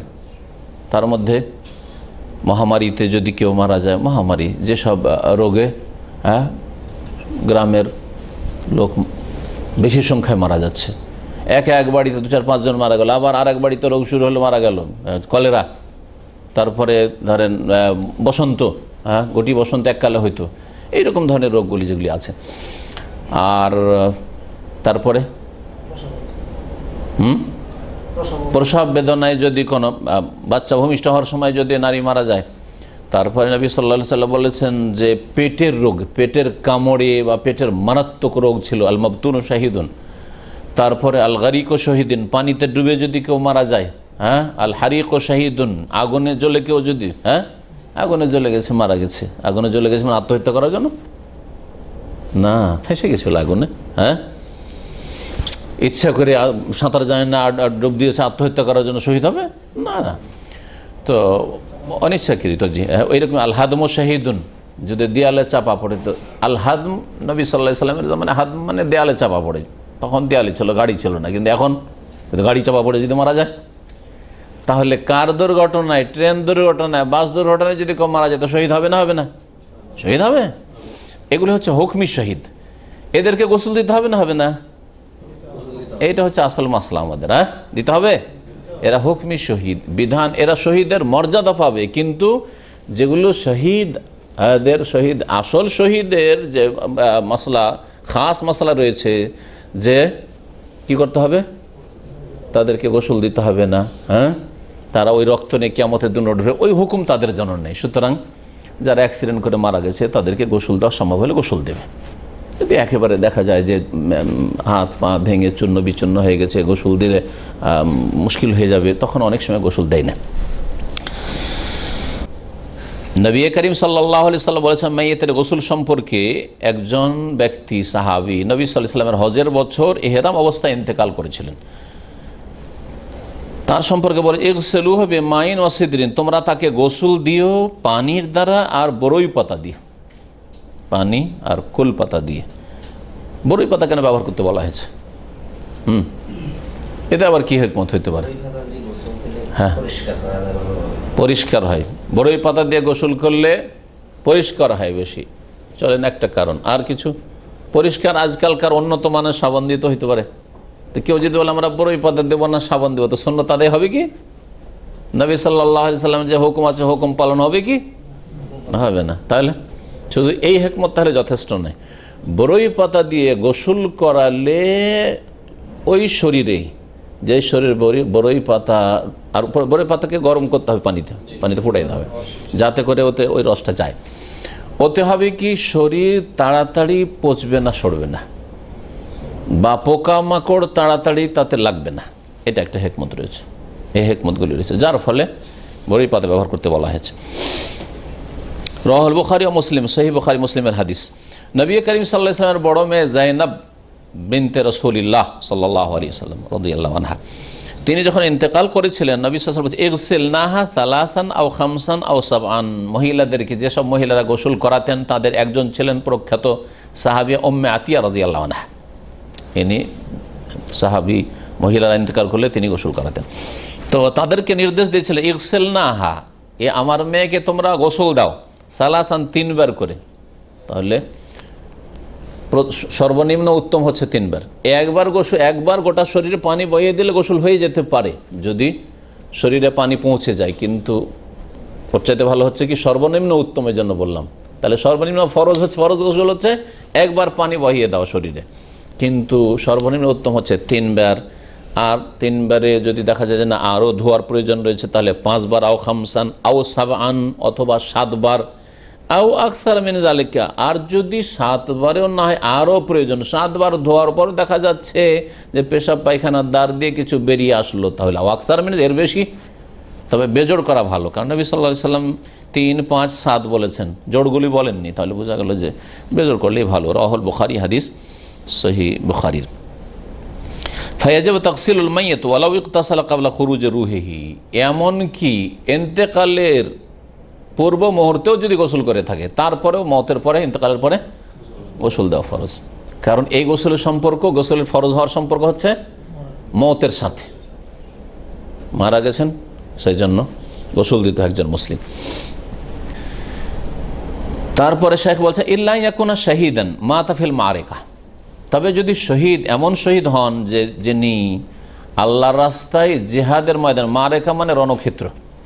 জেহাদের ময়দানে মারা গেছেন। ফাইন্নাহুল আয়োগাসালো তাহলে তাকে গোসল দিতে হবে না। মোজাহেদ শহীদ হয়েছেন, গোসল দিতে হবে না। ওয়ালাই ওসাল্লাহ আলহি এমনকি জানাজা পড়তে হবে না। জানাজাও পড়তে হবে না। বালিউদ্ফানো সে আবেহি নবী করিম সাল্লাম শহীদের জানাজা পড়েননি, সে জানাজা পড়তে হবে না। এক জানাজা পড়তে হবে না, যারা ইমান ভঙ্গ করেছে, ইসলাম ভঙ্গ করেছে। হ্যাঁ? মুশেকের জানাজা পড়তে হবে না জাইজ নয় জানাজা পড়া। বেনামাজি জানাজা পড়তে হবে না। কারণ নামাজ ত্যাগ করা হচ্ছে কুফুরি, বড় কুফুরি। এই রকমের যারা বড় বড় পাপ, ঋণের বোঝা আছে আর ঋণ পরিশোধ করার ব্যবস্থা রেখে যায় না, ঋণ পরিশোধ করছে না হ্যাঁ? তার আত্মীয় স্বজনরা, তাহলে ভালো লোকেরা জানা জানা যাবে। একদল জানাজা পড়বে, কিন্তু ভালো লোকের নেকল আলেম আলামা পরেশগার এলাকার লোকের জানাজা পড়বেন না। এইরকমই বেশ কিছু হারাম কাজ, চোর হ্যাঁ? বা মদখোর মারা গেছে গুনাগার বিভিন্ন গুনহায় জড়িয়েছিল, মারা গেছে, তাহলে এলাকার নেক লোকেরা জানাজা পড়বে না। যেমন নবী করিম সাল্লাহ সাল্লামের কাছে এমন কোনো মাইয়েতকে নিয়ে আসা হয়তো যে মাইয়েতের ওপর ঋণের বোঝা থাকতো। কেউ পয়সা পাবে? নবী সাল্লাম সাল্লু আল্লাহ সাহেবকম। আগে জিজ্ঞেস করতেন, হাল আলিহে দাইন? ওর ওপর ঋণের বোঝা টোঝা আছে নাকি? হ্যাঁ আলিহে দাইনুন। তো ঋণ আছে ওর ওপর অনেকে টাকা পয়সা পাবে বা কেউ পাবে, একজন পাবে। সেই ক্ষেত্রে নবী সাল বলছেন, সাল্লু আলা সাহেব এবং তোমাদের এই সাথী সঙ্গী যে রয়েছে, মৃত ব্যক্তি মাইয়েতের, এর জানাজা তোমরা পড়ো, আমি রসুল্লাহ সাল্লাহ সাল্লাম পড়ব না। এর থেকে অলমাই কারণ নিয়েছেন রাসুল্লাহ সাল্লাম পড়েননি। তখনকার সবচেয়ে শ্রেষ্ঠ, বরং সর্বযুগের সবচেয়ে শ্রেষ্ঠ মানুষ তিনি। সুতরাং এলাকার মধ্যে যারা শ্রেষ্ঠ মানুষ হ্যাঁ কোরআন শোনার আলেম, ভালো আলেম পরিষ্কার লোকেরা, এলাকার যারা নেক লোক ওরা জানাজা পড়বে না। যাতে সতর্ক সাবধান হয়। যারে এই লোক রোজা রাখতো না, সেজন্য এলাকার আলেম আলমারা পরেশগার লোকেরা জানাজা পড়েনি তার। এই লোক যেহেতু চোর ছিল মদখোর ছিল বা জেনাকারী ছিল সেই জন্য তার জানাজা আলম আলমা পরেশগার লোকেরা পড়েনি। সতর্ক সাবধান, বাকি পাপিগুলো হবে। যে আমি যদি মারা যাই, তা আমারও জানাজা, কিন্তু ভালো লোকেরা পড়বে। ভালো লোকদের দুয়াই পাবো না। লোকগুলি তাহলে সংশোধন করে ফিরে আসবে। এটা হচ্ছে উদ্দেশ্য। আর আর এক জানাজা পড়তে হবে না কার? যে বিনা হিসাবে জান্নাতি যদি তার উপর ঋণের বোঝা না থাকে। সে হচ্ছে শহীদ। আল্লাহ রাস্তায় যে শাহাদাত বরণ করেছে। বালিউদ্ফানফিসে আবি ওই কাপড়ে দাফন করতে হয় যেই কাপড় শরীরে থাকা অবস্থায় শাহাদাত বরণ করেছে আর সেই কাপড়ে শরীরে রক্ত লেগে আছে। কারণ এগুলি তার জন্য কেয়ামতের দিন সাক্ষী হবে। লিআন্না নবী সাল্লাম ইয়াগসিল ইয়াগসিল কাতলা ওহদিন কারণ নবী সাল্লাহ আলী ওহদের যারা নিহতরা ছিলেন কাতলা, কাতিলের বহু বচন। কাতিল মকতুল। ওহদ যুদ্ধে যেসব লোকেরা নিহত হয়েছিলেন, শহীদ হয়েছিলেন, তাদেরকে গোসল দেননি। ওয়ালাম ইউসাল্লি আলিম তাদের সালাত আদায় জানাজাও পড়েননি। এই মর্মে আরও বেশ কিছু হাদিস আছে, কিছু হাদিস শোনায় জাবের রাজি আল্লাহ তালানো থেকে বর্ণিত। তিনি বলছেন, কালা রসুল্লাহ সাল্লাহ রসুল্লাহ বলছেন ঈদ ঈদ ফানু হুম ফি দিমা এহিম ওয়ালাম ইয়াকসিল হুম হ্যাঁ ওয়ালাম ইয়াকসিল হুম বা ওয়ালাম ইউগাসিল হুম হ্যাঁ তাদেরকে দাফন করো তাদের রক্তের সাথে। রক্তসহ দাফন করো। আর ওদেরকে গোসল দিও না। ওদেরকে গোসল দিও না। আখরাজহুল বখারি সহি বখারির বর্ণনা। আর একটি হাদিসে রয়েছে, আনা শাহিদুন আলা হাওলাই, আমি এইসব শহীদদের জন্য সাক্ষী। রসুল্লাহ বলছেন, লফুহুম ফিদেমাহিম তাদেরকে তাদের রক্তের সাথে জড়িয়ে দাও। রক্তের সাথে যে কাপড়গুলি আছে, ওগুলো দিয়ে তাদেরকে জড়িয়ে দাও। ফাইন্নাহু লাইসা জারিহুন ইউজরাহ ফিল্লাহ যে কোনো আহত বা নিহত ব্যক্তি যে আল্লাহর সন্তুষ্টির জন্য আহত বা নিহত হয়, ইল্লা যা আ কেয়ামতের দিনে আসবে। ওয়াজুর হহু ইয়ামাল কেয়ামতে, আর তার জখমগুলি, ক্ষতগুলি কেয়ামতের দিন ইউদমা, ক্ষতগুলি থেকে রক্ত প্রবাহিত হবে। রক্ত ঝরতে থাকবে সুহান আল্লাহ কেয়ামতের দিন রক্ত ঝরবে। জেহাদের ময়দানে ঝরেছে, ওই রক্ত কেয়ামতের দিন হাসার মাঠে ঝরতে থাকবে। লৌনহু লৌনুদ্দম আর ওই রং হবে, ওই রক্তের রং হবে কীরকম? রক্তের মতো লাল হবে। ও রিহ রিহল মিস্ক, দুনিয়ার রক্তে গন্ধ হইতো, তাই না? এটা গন্ধ আছে রক্তের। কিন্তু কেয়ামতের দিনে যে রক্ত প্রবাহিত হবে, তার থেকে যে ঘ্রাণ বেরোবে, ঘ্রাণটি হবে মিসকে আম্বার সবচাইতে মূল্যবান যে সেন্ট রয়েছে, আতর রয়েছে মৃগনাভি থেকে যা তৈরি হয়। মৃগনাভির যে আতর সেন্ট রয়েছে, তার মতো তার ঘ্রাণ হবে। হাদিস ইমাম হাকি বর্ণনা করেছেন এবং তার সনদ সহিব আনাস আল্লাহ তালাহ থেকে বর্ণিত, তিনি বলছেন, ইন্না সোহাদা ওহদিনলাম দোফেনু ইহিম ওয়ালাম ইউসাল্লি আলিহিম ওয়ালাম ইউসাল্লাহ আলিহিম ওহদে যারা শহীদ হয়েছিলেন, তাদের সংখ্যা কত ছিল? সত্তর জন শহীদ হয়েছিলেন সাহাবাই কেরাম। তাদেরকে লাম ইয়োগাসাল গোসুল দেওয়া হয়নি, ওয়া দফিন ও বেদাম তাদের রক্তেই তাদেরকে দাফন করা হয়েছিল, রক্ত কাপড় সহ। ওয়ালাম আল ইউসাল্লাহ আলিহিম আর তাদের জানাজার সলাত আদায় করা হয়নি। হাদিস আবু দাউদ রয়েছে, হাদিসটি সহি। রাবেয়ান, চতুর্থ বিষয় হচ্ছে, সেফাতো গোসলিল মাইয়েত মাইয়েতকে গোসল দেওয়ার বিবরণ। বা গোসল দেওয়ার পদ্ধতি। মাইয়েতকে কেমন করে গোসল দেবেন? প্রথম বিষয় শেখ বলছেন, আন্নাহু তুস্তার আওরাতহু। গোসল দেওয়ার সময় তার লজ্জাস্থান ঢাকা থাকবে। এমন নয় যে গোসল দেবেন তো গোটা শরীরের কাপড় খুলে ফেলবেন একবারে, উলঙ্গ করে দেবেন। না, এরকম নয়। কারণ মানুষ জীবিত হোক অথবা মৃত হোক, লজ্জাস্থান আবৃত রাখা ফরজ। হ্যাঁ সাতরে আওরাত, লজ্জাস্থান ঢাকা ফরজ। তাই ভাষ্যকার বলছেন লিয়ান্না আওরাত আল মাইয়ে থেকে আওরাতিল হাইয়ে। কারণ মৃত ব্যক্তির লজ্জাস্থান হ্যাঁ হচ্ছে আওরাতিল হাই জীবিত ব্যক্তির লজ্জাস্থানের মতো। যেমন জীবিত ব্যক্তির লজ্জাস্থান ঢাকা রাখা ফরজ তেমনই মৃত ব্যক্তির লজ্জাস্থান। ওয়ালি, হাদিস আলী রাজি আল্লাহ আলী রাজি আল্লাহ তালানো থেকে একটি হাদিস রয়েছে, ওয়ালা তানজুর ইলা ফাখজে হাইয়িন ওয়ালা মাইয়েতিন। তুমি কোনো জীবিত অথবা মৃত ব্যক্তির রানের দিকে তাকায়ও না। তা রান দেখাই যদি জায়জ না হয়, তাহলে যেটা আওরাতে গালিজা। লজ্জা স্থানকে দুই ভাগে ভাগ করা হয়েছে। আওরাতে খফিফা, হালকা লজ্জা স্থান, আর আওরাতে গালিজা, যেটা অকট্ট লজ্জা স্থান। হ্যাঁ? আওরাতে খফিফা হচ্ছে হাঁটু থেকে নিয়ে এ রান রানের শেষ পর্যন্ত এইটুকু হ্যাঁ? আর আপনার ওপর দিকে ধরেন নাভি থেকে সামান্য একটু নিচ পর্যন্ত। এগুলো হচ্ছে আওরাতে খাফিফা। নাভির নিচে হয়তো একটু কাপড় নেমে গেল, অনেকে নেমে যায়। আওরাতে খাফিফা খুললো তার। এইদিকে হাঁটুর ওপরে কাপড় উঠল, আওরাতে খাফিফা হ্যাঁ? একবারে গালিজা নাই অকট্ট নাই। কারণ নবী সাল্লাহ সাল্লাম কখনো কখনো রান খুলেছেন, আবু বকর আসছেন খোলাই আছে। যদি আওরাতে গালিজা হতো যে একেবারে খোলা, হারাম তাই নবী সাল্লাম খোলা রাখতেন আবু সামনে? ওমর রাজি আল্লাহ তাল্লাহ আসছেন, তাও খোলা রাখছেন। ওসমান আজি আল্লাহ যখন আসছেন, খুব লজ্জাশীল মানুষ ছিলেন তিনি। নবী সালাম জানেন যে ওসমান আসে আর যদি দেখে যে আমার একটু রান খোলা আছে তো পালাবে ওইখান থেকে। টান দেবো, আসবেই না। তাড়াতাড়ি ঢেকে নিলেন। হ্যাঁ যারা লজ্জাশীল লোক হয়- তাকে দেখে মানুষ বেশি লজ্জা করে, ঠিক না? লজ্জাশীল লোককে দেখে বেশি লজ্জা করে। একজন মানুষ আপনার সাথে যদি খোলাখুলি কথা বলে, তো খোলাখুলি কথা বলবেন। এর উদাহরণ একটা বুঝেন। খোলাখুলি একটু ওপেন কথা বলে। রসিকতা করে, মজাক করে ওর সাথে আপনি মজাক করেন। আর একটা লোক, না, জরুরি কথা ছাড়া কোনো কথা বলে না, সালাম, দুয়ার, ভদ্র কথা ছাড়া ওই সব কথাই নেই। তো আপনি বলবেন ওর সাথে এরকম কথা? না, বলবেন না যে, না ভাই, এই ধরনের কথা বলব না, কারণ এরকম কথা উনি পছন্দ করেন না হয়তো। কখন ওর তার মুখ থেকে শুনি না। ঠিক কিনা? জি হ্যাঁ। আওরাতে গালিদা তাহলে বাকি অংশটা বুঝতে পারছেন। সামনের দিক থেকে, পেছন দিক থেকে। হচ্ছে কবল আর দবর। এটা হচ্ছে আওরাতে গালিজা। এর কোনো অংশ খোলা? হারাম। জি, হারাম। বলছেন যে লজ্জা স্থান ঢাকতে হবে, আর তার সোম্মা ইউরফাও কালিলান ওয়াইউসারো বাতনাহু আসরান রফিকান। তারপরে ওই মাইয়েতকে একটু উঠিয়ে বসাতে হবে, কাত করতে হবে। মাথার দিক থেকে হাত দিয়ে একটু কাত করে উঠিয়ে হ্যাঁ? যাতে করে কি হয়, পেটটা একটু এভাবে খাড়া হয়। যেমন বসে আছি আমরা, এইরকম। খানিকটা উঠালে কি হবে? ওপরের দিকে যেগুলো হয়তো পেটে আছে, পায়খানা বের হওয়ার, সেগুলো যাতে করে বেরিয়ে আসতে, আসে, বেরিয়ে আসে। কারণ শুয়ে থাকলে হয়তো বেরোবে না শুয়ে রাখলে। কিন্তু একটু যখন কাত করে বসাবেন, তখন বেরোয়ার কাছাকাছি, বেরোয়ার উপক্রম হবে। ওয়ু সরবাত না হওয়ার তারপর তার সাথে সাথে পেটটাকে একটু চাপা দেবে। আসারে আসর মানে হচ্ছে কোনো কিছুকে যেটাকে বলা হয় চিপা। কাপড়, কাপড়কে কি বলেন আপনার? কাপড় ভিজা কাপড়কে যে আপনার ই করেন? কাপড় চিপা বলছেন না? হ্যাঁ তো আসারা মানে হয় আসলে চিপা কোনো জিনিসকে এই জন্য আসির বলা হয়। জুসকে কি বলা হচ্ছে?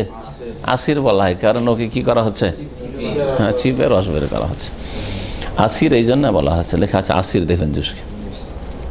অয়ুসারবাত না হতো পেটটাকে একটু চাপা দিতে হবে। পেটটাকে চেপে যাতে করে হালকা। আসরান রফিকান, নম্রতার সাথে। এমন নাই যে জবরদস্তি মারা গেছে, আর কি আছে? যতদূর শক্তি আছে দিয়ে চাপ অথচ একটা জীবিত ব্যক্তিকে চাপ দিলে তার কষ্ট হইতো। এরকম চাপ দেওয়া চলবে না। হালকা চাপ দিতে হবে তাহলে।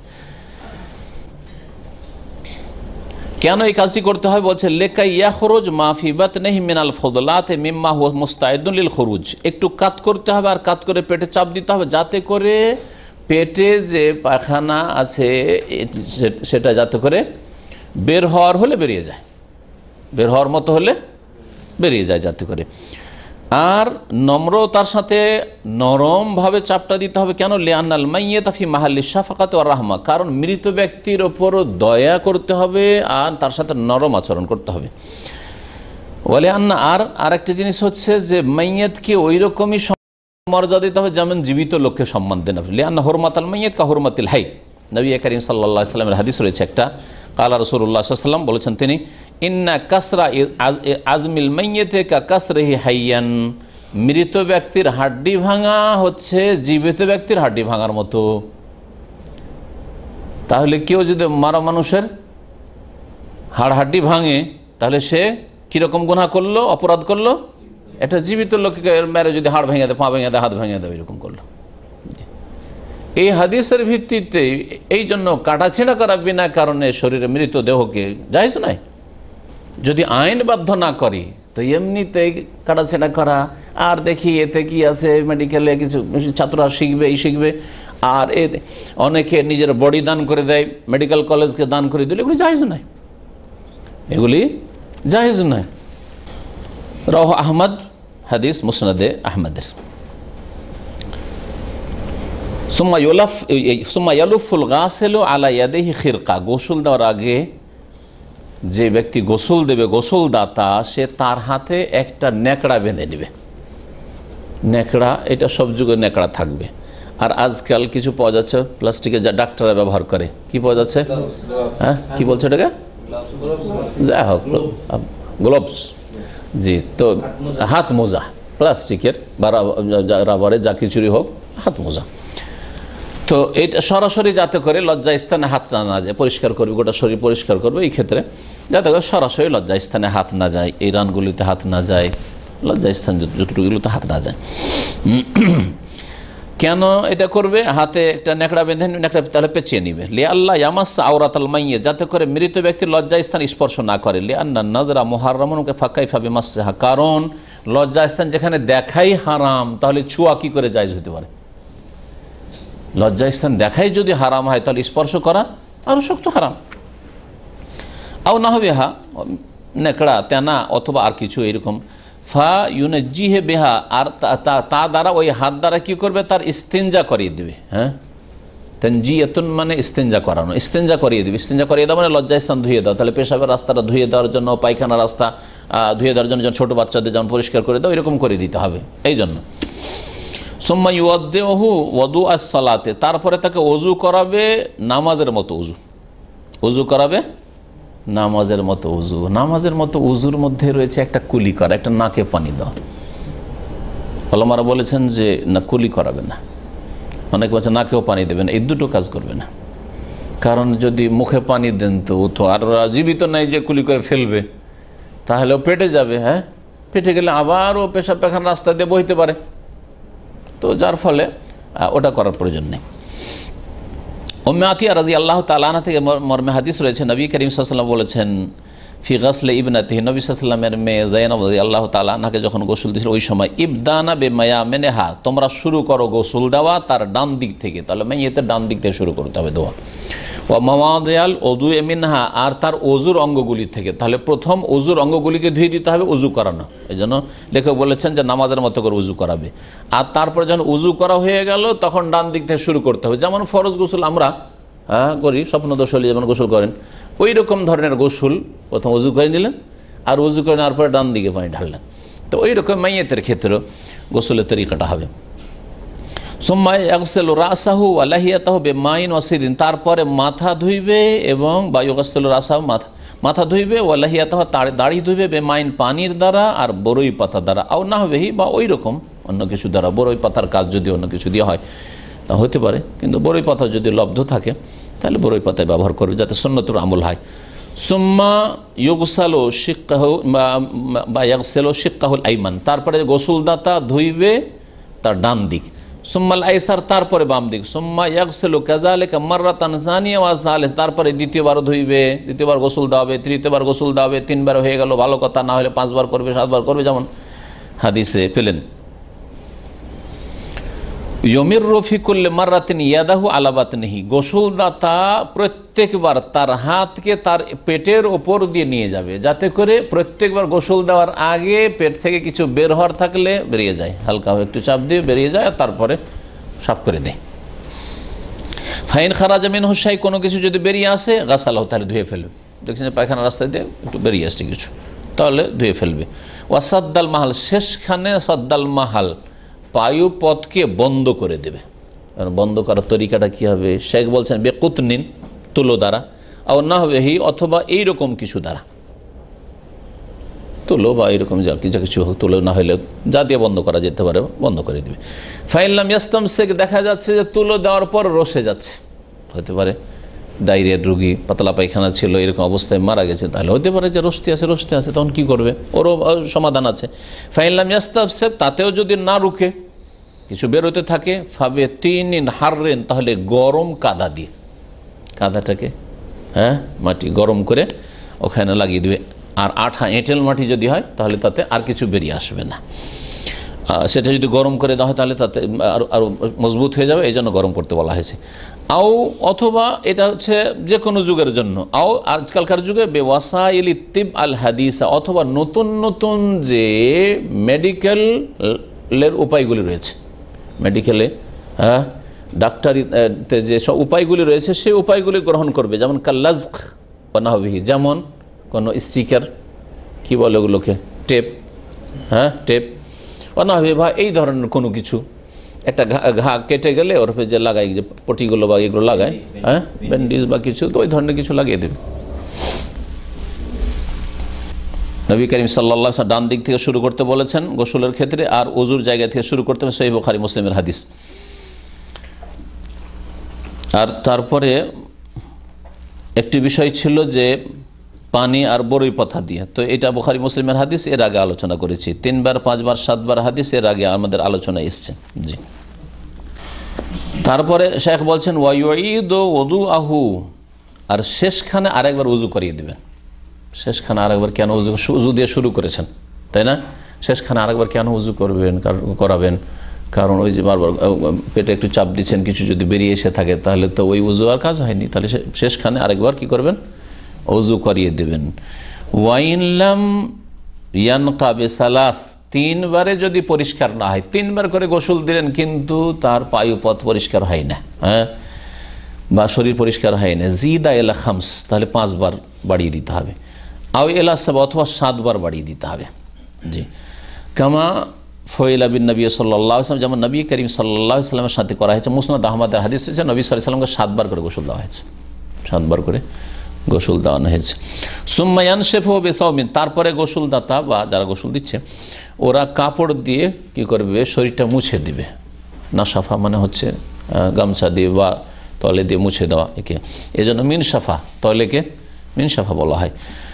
ওয়ুজ আলুত্তি বফি মাগাবে নাহি এবং গোসল দিয়ে গাটা মুছে দেওয়ার পরে সুগন্ধি দিতে হবে।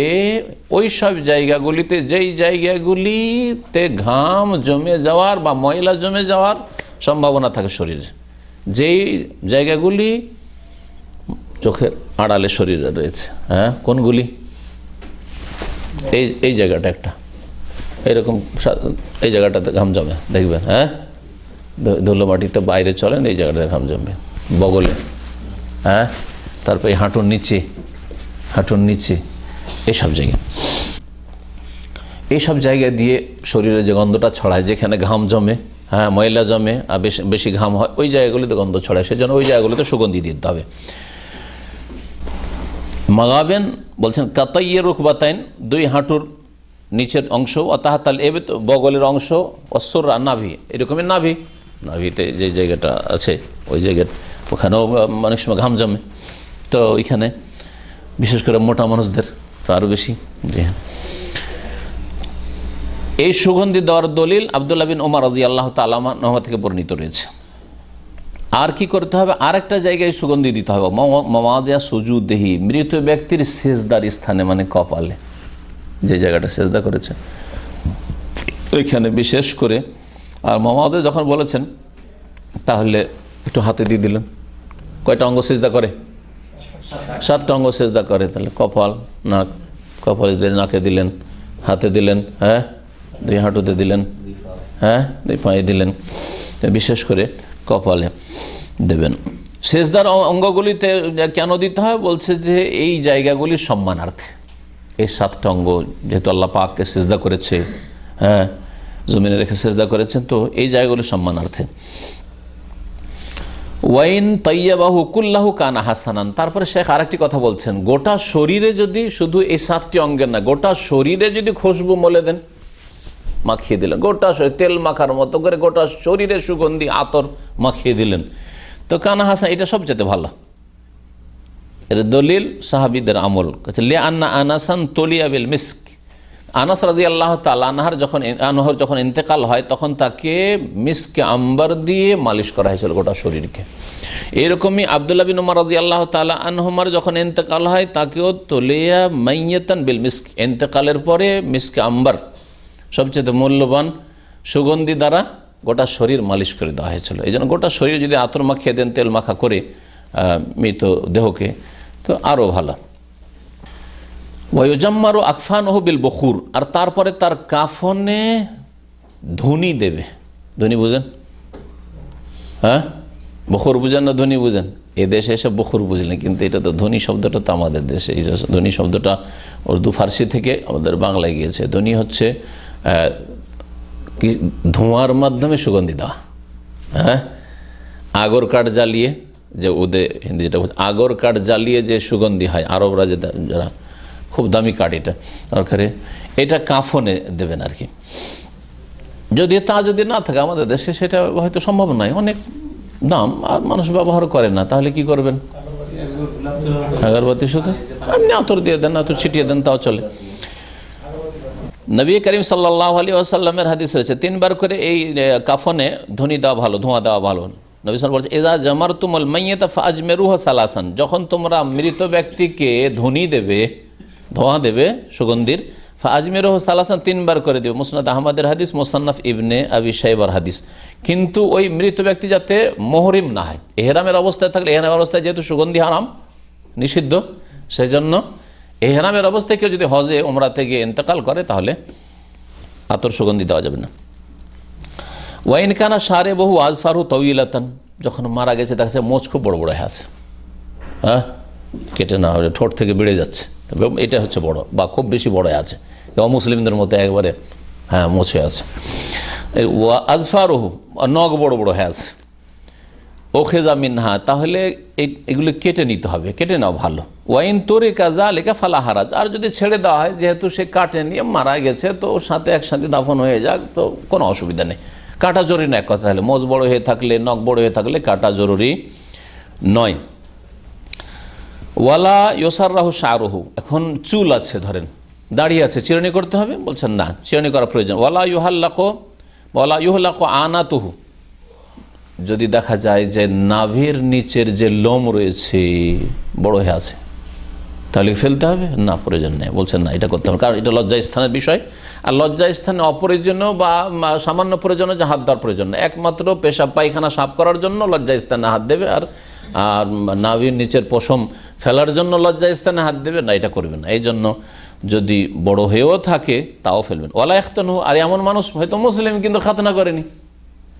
তাহলে খাতনা করবেন? এনতে করবেন? না, খাতনা করবেন না। ওলা ইখতানহু বলে আদমি দলিল আল্লাহ কারণ এর কোনো দলিল নেই।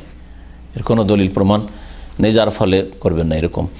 মহিলা যদি হয় আর মহিলার চুল বড় আছে, তাহলে তিন ভাগে ভাগ করবে, তিনটি বেনি করবে। ওয়াল মারা তো ইউজ ফারো শাহরোহা সালাসাত করুন।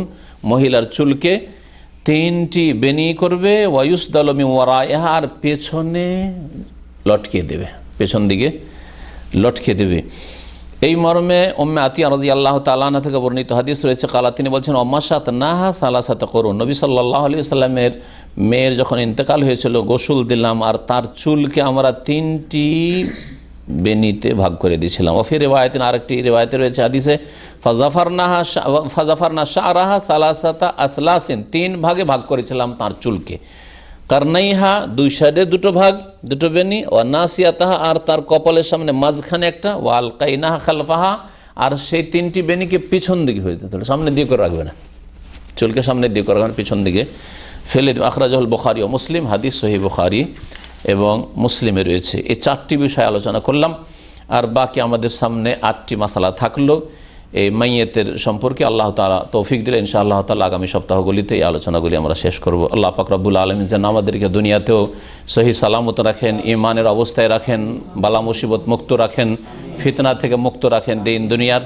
আর আল্লাহ পাক যখন আমাদেরকে নেবেন, কালেমা তাইবার শাহাদাতের তৌফিক দান করেন, তওবা সংশোধন করার আল্লাহ পাক সর্বদা যেন তৌফিক দান করেন। আল্লাহ পাক আমাদের সকলকে জান্নাতুল ফিরদৌস যেন দান করেন। সুবহান রব্বিকা রব্বিল ইজ্জাতি আম্মা ইয়াসিফুন। ওয়া সালামুন আলাল মুরসালিন। আলহামদুলিল্লাহি রাব্বিল আলামিন। প্রশ্ন আছে। একবার জিজ্ঞাসা করেছেন, আমি কিছু লোকের কাছে দেনা আছি। তাদেরকে তাদের টাকা ফেরত দেওয়ার কোনো সুযোগ নেই। তাদের সাথে দেখা হওয়া সম্ভব না। তাহলে আমি কি করব? কেন কেন এরকম দেনা করলেন? এতে যদি কেউ অবহেলা করে থাকে, যখন দেখা সাক্ষাৎ হচ্ছিল, তখন বাহানা করেছে। তাহলে অবশ্যই গুণাগার কারণ এটা এক শ্রেণির লোকেরা খুব সস্তা ফতোয়া নিতে চায়। যেই সময় দিতে পারতো সেই সময় সে অবহেলা করেছে টাল বাহানা করেছে, নিজের সব কাজ করেছে, কিন্তু দেয়নি। এখন দূরে চলে এসছে। এখন হ্যাঁ এত দূরে চলে এসছি, এখন তো যোগাযোগের নেই, ওর টেলিফোন নেই, ওর বাড়িও চেনি না, এখন কেমন করে দেবো? তো আল্লাহ এত সহজে মাফ করে দেবেন। হ্যাঁ সেই সময় হয়তো দেওয়ার মতো কোনো উপায় ছিল না, নিরুপায় ছিলেন। বা অতদিন সে ছেড়ে রেখেছিল। আপনাকে হয়তো দু বছরের জন্য টাকাটা দিয়ে রেখেছে। আর যেই সময় টাকা দেওয়ার সময় হয়েছে, আর খুঁজে পাচ্ছেন না। আর তার ঠিকানা জানেন না। তখন সমাধান আছে। কিন্তু ও টাকা চাইছে, দিচ্ছেন না দিচ্ছেন না, দিব, দিচ্ছি দিব, দিচ্ছি, আর তারপর টান দিয়ে চলে গেলেন এই দেশ, সে হচ্ছে এক দেশের, আপনি হচ্ছেন আরেক দেশে চলে গেলেন, আর ওর বাড়ির ঠিকানা কিছুই জানেন না, আর বলছেন যে এখন কি করে মাফ পাবো? তা আল্লাহ তো এত সহজে মাফ করে দেবেন না। তবা করতে ভালো করে মাফ আল্লাহর কাছে মাফ চাইতে হবে তবা করতে হবে। আল্লাহ ফাকরবুল্লাহ যেন সংশোধনের তৌফিক দান করেন। শেষখানে, শেষ উপায় হচ্ছে ওই ব্যক্তির নামে ওই টাকাটা দান করে দেবেন। তারপরে আপনার জীবনে কখনো যদি চলে আসে, আবার দিতে হবে তাই দিতে হবে। কারণ সে আপনাকে দান করতে বলেনি তার নামে। আপনি দান করেছেন। মুক্ত হওয়ার আশায় যে আল্লাহ পাক হয়তো আমাকে মাফ করবেন। বলেছেন যদি তাবলিগ জামাতে যাওয়া বেদাত হয় তাহলে মাদ্রাসায় যাওয়া বেদাত কেন নয়? দুটো জায়গাতেই তো এলেম শিক্ষার জন্য যাওয়া হয়। একবার জিজ্ঞাসা করে তবলিগ জামাতে যাওয়া যদি বিদাত হয় তো মাদ্রাসায় যাওয়া কেন বিদাত নয়? যাওয়া হয়। দুটোতে পার্থক্য আছে। দুটোতে পার্থক্য আছে। তবলিগি জামাতে প্রথম কথা বলেছেন যে, এলেম শিখতে যায়। কোনো মানুষ চিল্লাতে যে এলেম শিখে না। মূর্খ হয়ে যায়, মূর্খ হয়ে ফিরে আসে। ভালো করে শুনে রাখেন। কোনো বাড়াবাড়ি কথা নাই। কোনো কিছু শিখে আসে না।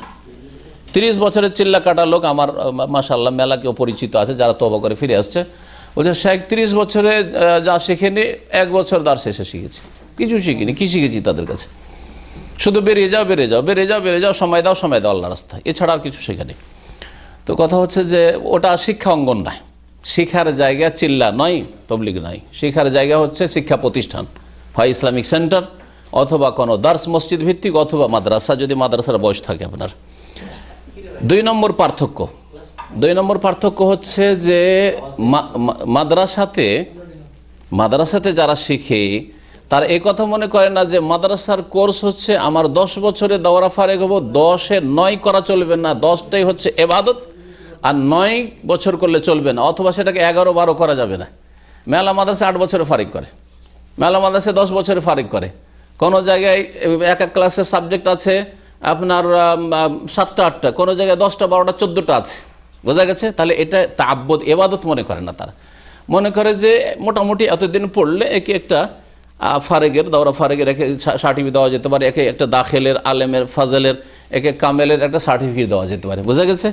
পক্ষান্তরে চিল্লাই চল্লিশে উনচল্লিশ চলবে না। কেউ যদি বলে, আমি চল্লিশ থাকব না, বিয়াল্লিশ থাকব তাও চলবে না। তবে চল্লিশ হচ্ছে এবাদত। তার তাহলে যারা চিল্লা যায়, তারা এবাদত হিসাবে করে, আর যারা মাদ্রাসায় যায়, তারা এই সময়টাকে এবাদত হিসাবে ধরে নেয় না। আর যেটা এবাদত নয় সেটাকে এবাদত মনে করা হচ্ছে বিদাত। চল্লিশের কমও চলবে না। আর সপ্তাহে যদি যেতে চান বা যদি সর্বনিম্ন যেতে চান তিন দিনের কম চলবে না দুই দিন চলবে না দু ঘণ্টা চলবে না আর চার দিন পাঁচ দিনও চলবে না। বোঝা গেছে? আর কয় মাসের হয় তাদের? তিন- মাস। না চার মাস? চার মাসের হয় চার মাসে তিন মাস দুই মাস চলবে না। কেউ যদি বলে যে আমি ভাই তোমাদের চল্লিশ দিন থাকতে পারব না। ঠিক আছে তোমাদের সাথে বিদেশে যাব কিন্তু আমি বিশ দিন থেকে চলে আসব। নেবে? আমি এই চল্লিশ তোমাদের রাখব না আমি পঁয়তাল্লিশ দিন থাকব। রাখবে কখনো না। তাহলে ওটা এবাদত আর এই এবাদত তরিকা ইলিয়াস সাহেব আবিষ্কার করেছেন। রসুল্লাহ আসলামের দেওয়া নাই। সুতরাং সেটা বিদাত। আর তারপরে তৃতীয় দিক হচ্ছে যে মাদ্রাসায় যদি কোরআন হাদিসের পড়া হয়, তাহলে সেটা স্বভাবের কাজ। আর আপনাদের যেটা পড়া হচ্ছে, ফাজাইল আমল, তাতে শিরিক, বিদাতে ভরপুর রয়েছে। কিসা কাহিনীতে আর স্বপ্ন আর কি কি। আল্লাহ পাক ভালো জানে ওই সব ফিতনা। যেসব ফিতনা দিয়ে অনেকে মানুষ কবর পূজা শিখে নেবে কারণ নবীর কবরের কাছে যাচ্ছে আর হাত বেরিয়ে চলে আসছে। নবীর কবরের কাছে যাচ্ছে আর সালাম আসছে, সালামের জবাব আসছে। নবীর কবরের কাছে যাচ্ছে রুটি চলে আসে। গিয়ে শুয়ে গেল রুটি চলে এলো। আর ঘুমের অবস্থায় রুটি আসলে আর জেগে অর্ধেক রুটি। স্বপ্নের রুটিও জেগে ও খেতে পাচ্ছে এগুলি ফাজাইল আমলের কিতাব আছে। মাদ্রাসায় যদি এগুলো পড়া হয় তাহলে গুণা এই পড়াগুলি মাদ্রাসা শোনে। মাদ্রাসা সম্পর্কে জিজ্ঞেস করলেন তো? মাদ্রাসায় তো যদি কিচ্ছা কাহিনী ভণ্ডামি পড়ায় তাহলে সে মাদ্রাসায় পড়া গুনার কাজ। এই বিরাট পড়ার জন্য মাদ্রাসা নাই। আল্লাহ এবং রসুলের কথা পড়ার জন্য মাদ্রাসা।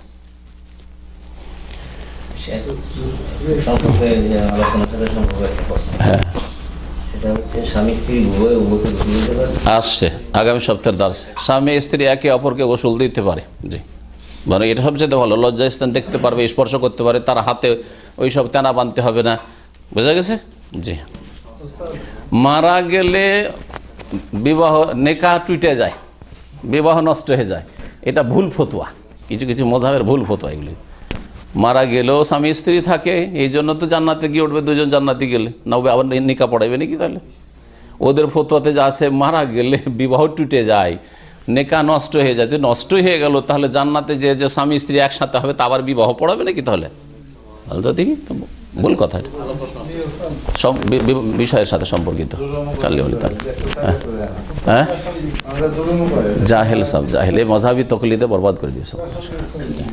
আকিদা সংক্রান্ত রেঙ্গি উত্তম ব্যক্তিকে আলাদা করতে পারবে না, ইসলাম নয়। হ্যাঁ। যদি সে কোনো উত্তম ব্যক্তিকে নসিহত করে যায় ওসিয়ত করে যায় ঋণী ব্যক্তির জানাজা পড়া যাবে না। যতক্ষণ পর্যন্ত তার এই ঋণ পরিশোধের কেউ দায়িত্ব না নেবে যদি দায়িত্ব নিয়ে নেয় তাহলে ঠিক আছে। যে আমি দায়িত্ব নিলাম আমি দিয়ে দেবো। তাহলে জানাজা পড়বেন সবাই জানাজা পড়বে। হ্যাঁ? আর যদি ওসিয়ত করে গিয়ে থাকে ছেলেদেরকে তাহলে তারা বলবে যে হ্যাঁ ওসিয়ত করেছে আমরা পুরা করে দেবো। অথবা তখনই পুরা করে দেবে। জি। যতক্ষণ ঋণ পরিশোধ করা হবে না ততক্ষণ তার আজাম মাফ হবে না। কঠোর শাস্তি রয়েছে। আগামী সপ্তাহে ইনশাআল্লাহ সময় হলে আরও বলব। নবী সাল্লাহ বলছেন যে এই এই যে তুমি যে দায়িত্ব নিয়েছিলে ওই ঋণটা পরিশোধ করেছ? ওর তো জানাজা পড়া হয়ে গেছে। বলছে ইয়ারসোল্লাহ আজকে ভুলে গেছি কালকে করব। তারপরের দিন আবার জিজ্ঞাসা করেছ? বলছে হ্যাঁ করেছি। বলছে আল আন বারেদাত জিলদাত তহু এখন তার শরীরে চামড়া ঠান্ডা হয়েছে। মানে এতক্ষণ আগুনে জ্বলছিল সে। এ তো হালকা বিষয়। নয় যে মানুষের টাকা খেয়ে বসে থাকবেন, বেইমানি করে আর ধার নিয়ে বসে থাকবেন আর টাকা দেবেন না, আর মারা যাবেন, কোনোদিন জান্নাত পাওয়া যাবে না। ইউক ইউফারুলি শহীদ কুল্ল জম শহীদের সব গুণা মাফ হয়ে যায়। ইল্লা আর দেন ঋণের গুণা মাফ হয় না। শহীদের সব গুণা মাফ হয়ে যায়। কিন্তু ঋণের গুণা মাফ হয় না। মানুষের হক আল্লাহ মাফ করবে না। মানুষ মানুষ মাফ করতে হবে ওকে মাফ করতে হবে। জি। আল্লাহর হক আল্লাহ নামাজ আল্লাহ রোজা জাকাত হয়তো মাফ করে দিতে পারেন। হ্যাঁ? কিন্তু এই ঋণের গোনা মাফ হবেন না। সুতরাং এই বিষয়ে একটু সজাগ থাকবেন মানুষের টাকা খাবেন। আল্লাহ যা দিয়েছেন তাতে শুক্রিয়া আদায় করেন। জি হ্যাঁ। আমাদের একটা প্রশ্নই একবার বলেছেন যে এলাকায় অধিকাংশ মসজিদে কবর আছে সেখানে সালাত আদায় করার মা- মাসালা কি? কারণ মসজিদে অনেক সময় জামাতে সালাত আদায় করতে মানুষ আগ্রহী হয় না। ঘরে সালাত আদায় করে। আর উনি বোঝাতে চেয়েছেন ওস্তাদ যে এসব মসজিদের পাশে পিছনে মানুষের কবর থাকে। জি জি জি। একবার জিজ্ঞাসা করছে যে সব মসজিদে কবর আছে সেসব মসজিদে নামাজ পড়ার হুকুম কি? মসজিদের ভিতরে যদি কবর থাকে মসজিদের ভিতরে বারান্দায় যেখানে নামাজ হচ্ছে বারান্দাতে নামাজ হচ্ছে সেখানে কবর তাহলে সেই মসজিদে নামাজ পড়া জায়জ নয়। তবে মসজিদের বাউন্ডারির বাইরে মসজিদের দেয়ালের বাইরে ওয়ালের বাইরে যদি থাকে ডানে বামে পিছনে যদি থাকে তাহলে পড়া যাবে। সামনে যদি থাকে, এই ক্ষেত্রে বেশ কিছু অলমারা বলছেন, যেহেতু কেবলার দিকে আছে, একেবারে মসজিদ সেটে কিন্তু দেয়ালের পরে তাহলে নামাজ পড়া যাবে না। কিন্তু অত শক্তভাবে বলা যাবে না যে নামাজ পড়া হারাম। যদি মসজিদে না পাই, তাহলে সেই মসজিদে নামাজ পড়বে, কারণ মসজিদের ভিতরে কবর নেই, বাইরে আছে। তারপরেও কিবলার দিকে হচ্ছে। সুতরাং ওখান থেকে কবরগুলিকে সরাবে যদি মসজিদ আগের হয়, কবর পরের হয়। আর মসজিদ যদি পরে হয়েছে, কবর আগের ছিল, তাহলে মসজিদ সরাই দেবে। মসজিদ সরিয়ে দেবে এরকম শির্কের জায়গায় যেখানে শির্কের সম্ভাবনা আছে। আজকে যেসব কবর হয়তো কাঁচা কবরে আছে কালকে মসজিদের পাশে থাকার কারণে লোকেরা মনে করবে যেগুলো অলিয়া উলিয়া ছিল। দে পাকা করে মাজার বানিয়ে দে। আর এইভাবে তো কবর পূজা শুরু হয়েছে। জি। যদি যদি আসেন। একটা প্রশ্ন আমার আমার মৃত্যুবার্ষিক আমার ভাইয়েরা টাকা পাঠাইছে। তারা মৃত্যুবার্ষিক পালন করব আমি না করছি। তারা এটাতে আমি করছি অন্যদিন ইউজ করি টাকাটা। জি জি। কীভাবে খরচ করা যায়? খরচ করবেন কীভাবে? মৃত ব্যক্তি যেন করণীয় আমার একটা আলোচনা আছে, শুনবেন। স্থায়ী দান করার চেষ্টা করবেন। যদি বেশি টাকা দান করতে পারেন, একটা মসজিদ করে দেন, কোথাও মসজিদের অভাব আছে। যদি বলেন যে মসজিদ করতে পাঁচ লাখ টাকা বা চার লাখ টাকা, তিন লাখ টাকা তো দিতে পারব না। পঞ্চাশ হাজার দিতে পঞ্চাশ হাজার একটা ইসলামিক লাইব্রেরি, আপনাদের মসজিদে একটা ইসলাম, একটা আলমারি, আর কোরআন, তফসির, যতগুলো হয়, হাদিস একটা ইসলামিক লাইব্রেরি করে দেন মসজিদ ভিত্তিক। এলাকার লোকেদের অজ্ঞতা দূর হবে সহি দিন শিখবে সহি আকিদা শিখবে আমল শিখবে আর এই লাইব্রেরি চলতেই থাকবে। মাঝে মধ্যে কিতাব কমবে আবার কিনে দেবেন। কেয়ামত পর্যন্ত আল্লাহ করে যদি এরকম লাইব্রেরি চলতে থাকে তো আপনার মা বাপর নাকি পৌঁছে পেতেই থাকবে।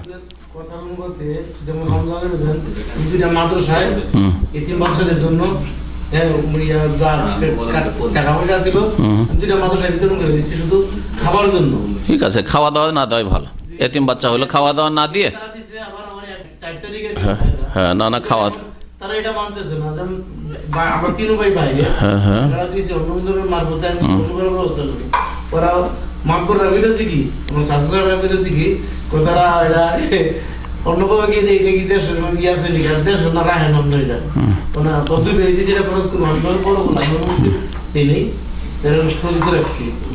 বুঝছি বুঝছি। আপনার টাকা, আপনার আপনার যেটা শহীদ দিন, সেই মোতাবেক খরচ হবে। আপনার টাকা অন্যের মোতাবেক কেন খরচ হবে? অন্যের খেয়াল খুশি কেন খরচ হবে? বোঝা গেছে? তো বলবেন যে টাকা আমরা দেব, আমরা যেই রকম করে খরচ করতে বলব, ওই রকম খরচ করতে হবে। আর না হইলে লাকুম দিন হুকুম আলী দিন। তোমাদের তোমাদের টাকা দিয়ে তোমাদের কাজটা করো, আমাদের টাকা দিয়ে আমরা করছি। হ্যাঁ আলাদা করেন। আপনার টাকা আপনি ইনকাম করছেন, আপনি আপনার টাকা দিয়ে আপনি মসজিদে ফ্যান নেয়, ফ্যান দেন।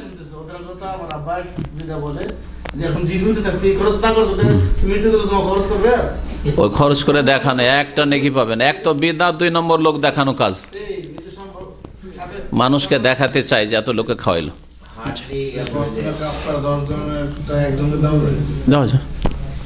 সমস্যা। কসমের কাফারা দশজন মিসকিনের একজন কি এক মিসকিন কি দশ দিনের খাবার দেওয়া যায়? হে আল্লাহ সাল্লাহ নবীনা মোহাম্মদ ওয়ালা আলী ওসাহেব سبحانك اللهم أشهد أن لا إله إلا أنت أستغفرك وأتوب إليك.